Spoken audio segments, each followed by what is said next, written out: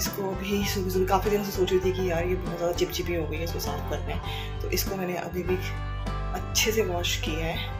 Chimney के ऊपर वाले स्पेस में धूल बैठ गया, इसको साफ़ करना है, क्योंकि ना रेगुलरली हो नहीं पाता है। और यहाँ पर हल्की हल्की से मैंने साफ़ तो किया है, पर अभी भी थोड़ी थोड़ी चिपचिपाहट है इस वाली जगह में चिमनी के।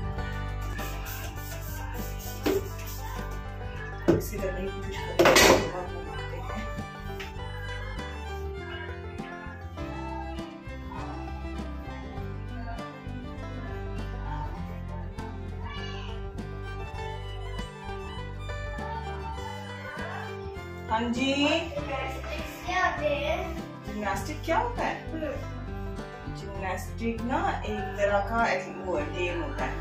गेम हाँ उसमें बहुत सारी एक्सरसाइज होती है पता है आपको? नहीं वो नहीं होता है जिम्नास्टिक जिम्नास्टिक्स कोई और होता है। जब होते हैं? बॉल स्कूटर बॉल फेंकने की जगह स्लाइड अच्छा वो होता है जिम्नास्टिक अच्छा होता है बॉल कागज़ से पहले साफ़ करने की कोशिश करती हूँ उससे नहीं यहाँ पर मैं काफ़ी बातें कर रही थी लेकिन आवाज़ ना अच्छी से आ नहीं रही थी इसीलिए मैंने यहाँ पर अपनी वॉइस को ना हटा ही दिया बिल्कुल। और अभी आपसे बातें करते आपको दिख रही हूँ पर क्या बातें हैं वो तो मैं भी नहीं मुझे खुद को सुनाई नहीं दे रहा था कि मैंने क्या बातें की हैं यहाँ पर आप लोगों से। डुगु नहीं डुगु नहीं बेटा। वो यहाँ पर एक्चुअली मैं को बता रही थी कि मैं कोलिन से जब इसको क्लीन करने की कोशिश कर रही थी तो इसमें इतना ज़्यादा ये वो स्टिकी हो चुकी थी ना कि नहीं साफ़ हुआ था अच्छे से। तो मैंने गर्म पानी भी रखा था साइड साइड में अपने हाँ सिर्फ़ गर्म पानी। और उसमें हल्का सा वो सर्फ नहीं डाला था, लेकिन वो बार वाला होता था, उसके दो ड्रॉप्स डाल रखी थी मैंने। सिर्फ़ दो ड्रॉप्स ज़्यादा नहीं करना है। अभी मैं लो किचन कोई नहीं है, मेरी किचन बास्केट ये खाली करनी है।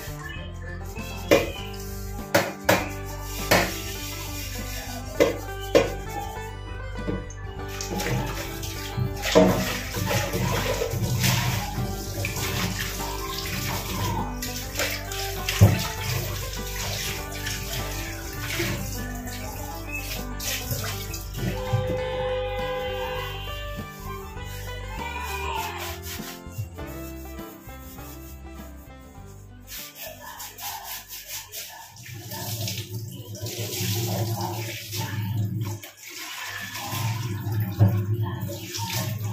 एवरीवन और, अभी सुबह से जब मैं काम कर रही थी तो मुझे ध्यान आया कि मैंने बिल्कुल मैंने ग्रीट भी नहीं किया। तो good morning and welcome to Indian Pahadi roots और आज सुबह, जैसे आपने मैंने दिखाया ही था कि चिमनी को ज़रा टाइम लगा है साफ़ करने के लिए, क्योंकि काफ़ी टाइम से आई थिंक डेढ़ महीना हो गया होगा। ऐसे ऊपर ऊपर तो कर रही थी ना, मैं उसको थोड़ा थोड़ा थोड़ा थोड़ा क्लीन तो कर रही थी बट मुझे पता था कि इसको ना अच्छे से निकाल के क्लीन करना पड़ेगा और बस मैंने अभी की नहीं हुई थी तो फिर आज करी और ये काफ़ी ज़्यादा स्टिकी हो चुकी थी वो चिमनी की जो है ना। साइड आप ऊपर से जितना मर्ज़ी कर लो, लेकिन जब तक आपने अच्छे से निकाल के उसको अच्छे से वॉश नहीं किया ना, तब तक वो बात नहीं आती उसमें। तो बस वो किया, उसके बाद और भी छोटी छोटी चीज़ें, जैसे किचन में तो हो जाता है आप चाहे जितना मर्ज़ी करो पर अगर आप जल्दी जल्दी में काम करते हो तो जो छुट्टी वाले दिन होते हैं जैसे आज आगने की छुट्टी है तो फिर आज मुझे पता है कि मुझे छोड़ने नहीं जाना मुझे लेने नहीं जाना तो मेरे पास टाइम है मैं इजीली उस उन चीज़ों को अ, कर सकती हूँ। ऐसे और दिन होता है कि बस फटाफट वाले काम निपटा लो सारे। तो बस वो चीज़ की उसके बाद अपना जो भी कपड़े वगैरह धो के बाहर डाल दिया लेकिन कोई उम्मीद मतलब मुझे बार बार मैं अभी दूसरे रूम में जहाँ पर मैंने सेटिंग चेंज की है, मैं उस रूम में आके बैठी हूँ। और पहले भी मैं ज़्यादातर इस रूम में बैठती थी, लेकिन पहले यहाँ पे बेड लगा हुआ था। और अब हमने सिर्फ़ यहाँ पर फोल्डिंग जो हमारा सोफ़ा है सिर्फ़ वही यहाँ पर रखा हुआ है। और एक चीज़ और कि हाँ कपड़ों की बात करी थी बाहर बारिश कभी भी लग सकती है, इसलिए मैं थोड़ी देर मैंने सोचा कि यहाँ बैठ जाती हूँ, क्योंकि अभी ऐसा मौसम बन रहा है कि कभी भी बारिश हो जाएगी पता भी नहीं लगेगा। ज़रूरी नहीं है कि तेज़ बारिश लगे। हल्की बारिश जैसे होती है ना, ऐसा लग रहा है कि वैसी बारिश स्टार्ट होगी और वैसी बारिश फिर सुनाई नहीं देती है। तो फिर इसीलिए मैं यहाँ पर आके बैठी हूँ और बस अभी भी आगने को भी थोड़ा सा अभी ना फीवर सा आना स्टार्ट हुआ है। सुबह से कह रहा था कि मम्मा मतलब पहले इसको कोई ऐसा शाम को या कोई तबीयत ख़राब नहीं थी, कुछ भी, कोई लेजीनेस नहीं, कुछ भी नहीं था। मतलब परफेक्टली वो था। ही वॉज़ परफेक्टली फाइन अभी सुबह सुबह बोलता मुझे ठंड लग रही है और मुझे मौसम है ठंडा लेकिन मुझे डाउट हो रहा था बार बार बार बार होता है कि मदर्स को ना को मिल जाती है कि कुछ तो प्रॉब्लम है। ठीक है वो बोला कि ठंड लग रही है लेकिन ऐसी भी नहीं थी मैंने उसका फोरट चेक किया ही वॉज़ फाइन पर फिर भी जब मैं नहाने चली गई मैंने उसको आ, वैसे मैं पहले उसको भेजती लेकिन मैं पहले ही नहाने चली गई और फिर अब मेरे दिमाग में यही चलता रहा कि कुछ ना इसकी शायद तबीयत कहीं ठीक नहीं है, शायद जो ठंड बोल रहा है ये लग रही है। क्योंकि कई बार होता है, जैसे आजकल मौसम ऐसा फ़ैन चलाते हैं तो अगर आप एक ही जगह पे बैठे तो ठंड लग जाती है। लेकिन मैंने बाहर आके बाद में उसको चेक किया तो इसको फीवर था। मेडिसिन मैंने इसको दे दी है। आजकल यहाँ बहुत सारी चीज़ें, सबसे बड़ी टेंशन की बात ये है कि अभी जिस टेंशन में ना मेरी एनर्जी लो हो जाती है, अभी मैं बहुत कुछ कर रही थी, बहुत कुछ सोचा हुआ था, लेकिन अब मुझे बार बार ये चीज़ लग रही है कि बस नॉर्मल फीवर हो। ऐसे ना हो कि यार जो आ, मतलब कोई मेजर चीज़ ना हो। जैसे कि आजकल बहुत सारी चीज़ें चल रही हैं। और स्कूल वजह से लेटर भी आए हैं कि कि ये है आपको ऐसे करना है ये करना है। चलो वो जब कुछ तो है ही। Hand foot and mouth disease है एक। और दूसरी है मंकी पॉक्स तीसरा आजकल मच्छर बहुत ज़्यादा है तो डेंगू मलेरिया कुछ भी मतलब इतनी सारी चीज़ें दिमाग में आ गई। इंसान कभी ये नहीं सोचता कि छोटी वाली चीज़ होगी बड़ी बड़ी तरफ़ ध्यान जाता है। तो वैसे भी इसको ठंड देकर बुखार आया है अभी। मोस्टली ऐसा होता नहीं है।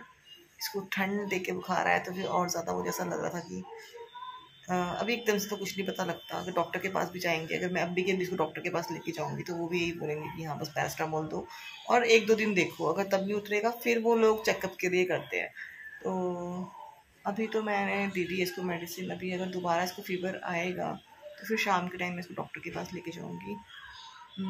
होप सो कि कोई बड़ी मतलब बड़ी मीन्स जैसे ये आजकल जो फैली बीमारी है ना, ये ना हो। बस टच वैसे तो मैं आगने का ध्यान रखती हूँ, लेकिन फिर भी। क्योंकि मैं आगने को हर रोज़ शाम को बाहर लेके जाती हूँ। बाहर मीन्स के नीचे लेके जाती हूँ वॉक करने के लिए। अभी मुझे ऐसा लग रहा है कि मैं क्यों लेके जाती हूँ यार इसको? मुझे नहीं लेके जाना चाहिए था। लेकिन क्या करें स्कूल भी तो ये जाते हैं। बाहर हमारे साथ होते हैं स्कूल भी तो सब बच्चों के साथ होते हैं। तो बड़ा मुश्किल सा बन रहा है और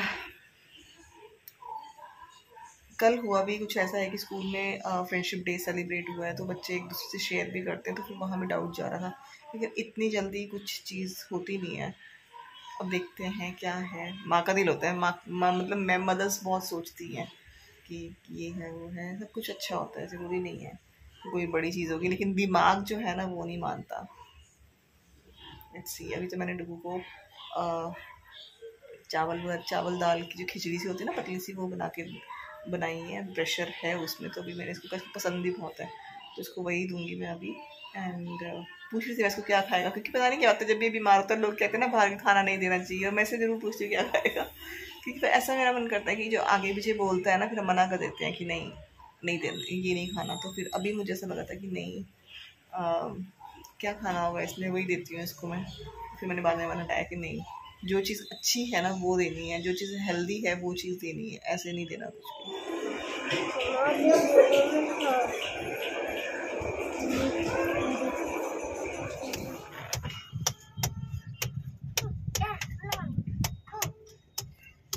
अभी अभी पहुँचे हैं बाहर हॉस्पिटल से और इतनी भीड़ है ना हॉस्पिटल में एक एक डेढ़ डेढ़ घंटे की वेटिंग है, छोटे बच्चों का जो मतलब है उसमें।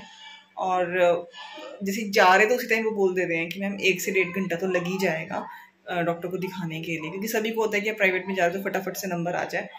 तो इतनी इतनी लेट था ना, एक डेढ़ क्या मतलब ज़्यादा भी टाइम लग रहा होगा वहाँ पर कईयों को तो। मुझे भी ऐसा लगा था कि मतलब यार इतनी देर होगी, मेरा नंबर नहीं आ रहा, एक घंटा भी हो गया। हमें हमें भी, हमारा नंबर भी शायद एक सवा सवा घंटे के बाद ही आया है वहाँ पर। आजकल का मौसम ऐसा है ना कि बहुत ज़्यादा बच्चे बीमार हो रहे हैं बहुत ज़्यादा बच्चे बीमार हो रहे हैं। मैंने डॉक्टर से ये चीज़ पूछी भी कि ऐसा क्यों है कि ये बार बार बीमार हो रहा है?